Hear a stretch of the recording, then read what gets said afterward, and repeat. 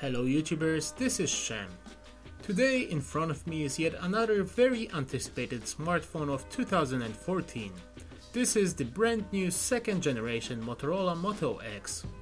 Unfortunately I have not had a chance to ever be in contact with the first model, but I won't be making the same mistake this year.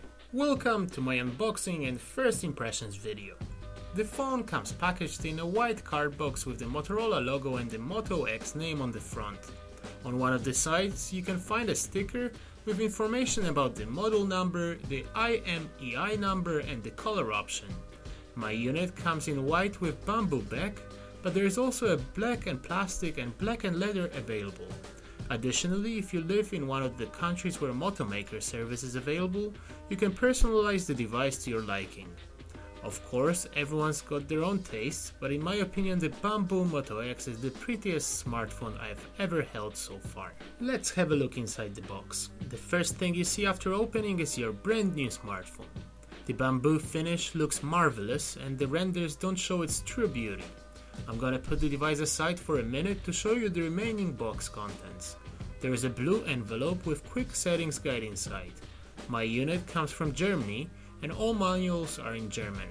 Below we can find a white wall charger and a USB cable for data exchange and charging, and a SIM ejection tool. There is no headset included in the retail box. So now let's move on to the build and design of the new Moto X. The phone has a protective film with short specs imprinted covering the front panel, which I'm gonna remove. Thanks to its profiled body, it is extremely comfortable in the hand. On the top and bottom of the front panel lie two speakers. The top one is the speakerphone and the bottom one is the loudspeaker. They have aluminum covers that stick out above the display. On the left and bottom corners are IR sensors used for hand gestures to quickly display notifications. The 5.2 inch AMOLED display is covered with Corning Gorilla Glass 3.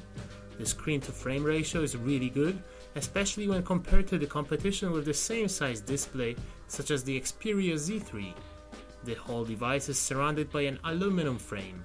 On the left side you won't find any buttons, on the bottom is the micro USB port for charging and data exchange, and on the right the volume rocker and the power button with a nice coarse surface.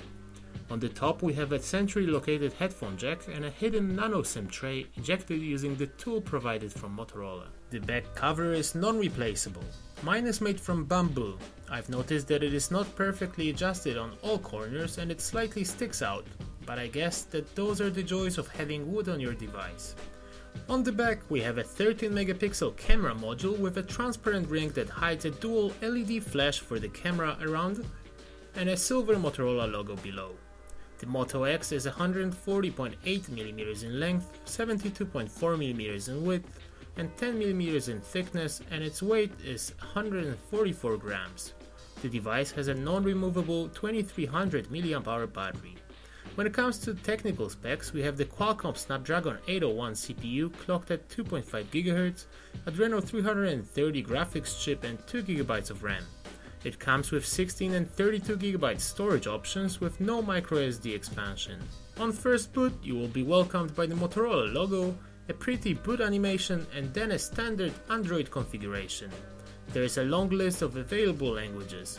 The device works on the newest version of Android 4.4.4 KitKat and offers a clean Android experience with a few extra apps from Motorola. I have to say that the looks are stunning and you can feel the high quality of build and materials used in every inch. The AMOLED display also has beautiful colors. It's been a while since I've tested a device that would lie so comfortably in the hand as well. Soon you will be able to find a detailed review with camera and battery tests on my channel. As usual, I look forward to any questions you may have about the device in the comments. For now, I'm going to intensively test all of the smartphone's features.